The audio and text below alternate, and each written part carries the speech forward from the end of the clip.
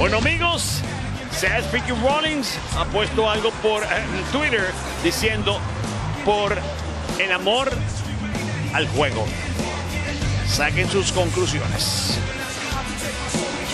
Yo tengo las mías, pero prefiero no compartirlas porque no estoy completamente seguro de lo que debo pensar.